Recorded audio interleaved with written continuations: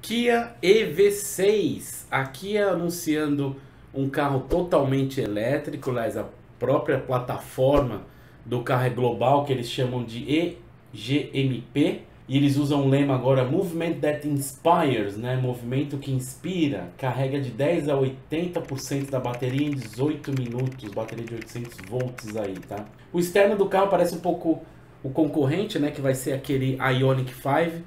Até eu falei um pouquinho dele porque ele é meio esquisitão. Né? Eu vou deixar um card aqui em cima direito, se você não viu.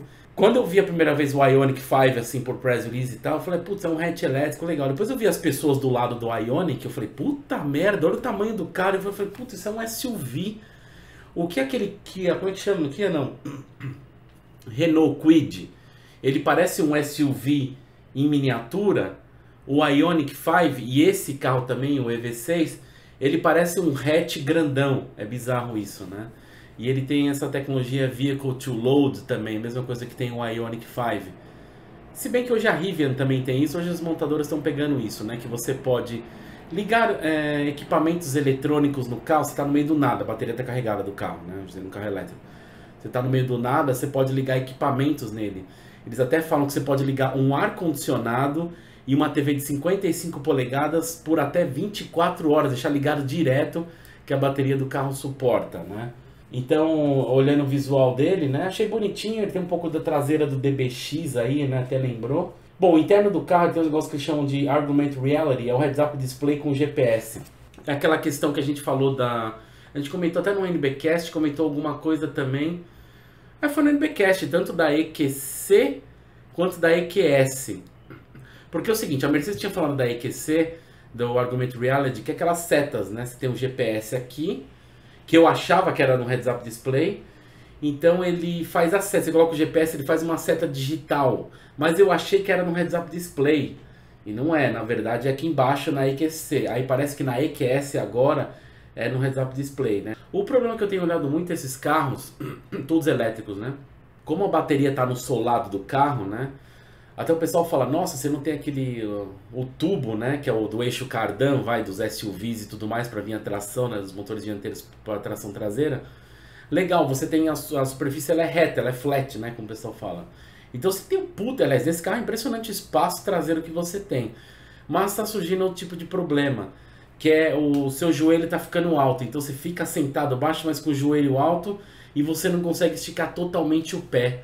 Esse é um problema. Vamos ver o que eles vão fazer. Às vezes eles vão aumentar o alcento de tamanho, que a ideia é diminuir mais o, o de gravidade, né? O carro poder fazer mais curva, dar mais estabilidade, né? Mas esse é um dos problemas que estão tendo esse tipo de carro, né? Não é só esse. Eu lembro da BMW, aquela que eu, que eu falei, a i4. Eu vou deixar um card aqui em cima direito, que seria tipo a M4 elétrica. Mesma coisa que o pessoal fala. Ali ainda tem problema de espaço no banco traseiro, mas seu joelho também fica muito alto. Por quê? Porque as baterias ficam no solado. Então eles tentam colocar o banco baixo, mas, puta, cara, a longa viagens isso vai ser desconfortável, né? Mas o bom é que pelo menos os bancos traseiros reclinam quase que totalmente, né? Bom, o powertrain do carro vai ter dois tipos de baterias, né? Uma de 77.4 kWh e uma de 58. A versão mais top, que vai se lançar mais pra frente, mas eles já soltaram detalhes, né? Que é a versão GT, vai ter dois motores elétricos, um em cada eixo, né? 584 cavalos no total e 75,4 kg de torque, 0 a 100 3,5, máxima de 260. É interessante que o pessoal, essas velocidades 260 km por hora, achei legal, porque tem muitos carros elétricos que eles estão limitando a velocidade a 180, no máximo 200 km por hora. Então você vê uma motor tipo aqui, não, a gente está colocando 260. Legal. Ah, sei lá, você vai pegar uma rodovia tipo uma autobahn, se limitar a 180 é meio triste, né? Aí vai ter outras questões também nessa bateria, né, de 77.4 kWh, que é uma versão abaixo, né, 229 cavalos e 61.6 kg de torque. Esse carro de maneira geral nessa bateria vai ter 528 km de autonomia, 0 a 100 5.2. Isso na tração traseira, vai ter uma versão também abaixo que é tração integral, é, um, um, motor em cada eixo, né, 325 cavalos. E vai ter uma bateria mais simples, né, que é de 58 kWh 61,6 kg de torque, 170 cavalos se você optar pela tração traseira e se for a tração integral 235 cavalos, era 106.2, né? Lembrar que aqui a fala que nesses carros, isso está acontecendo por conta de não ter mais a questão do eixo cardan, aí você fala, puta, tem muitos SUVs, mesmo a própria BMW, né, na X1, na primeira geração, é tração traseira. Aí o pessoal viu o custo altíssimo de produção. Ah, coloca tração dianteira. Aí tem a galera chiando. Ah, não é mais uma BMW e tal. A questão é de espaço, né? E custo de projeto.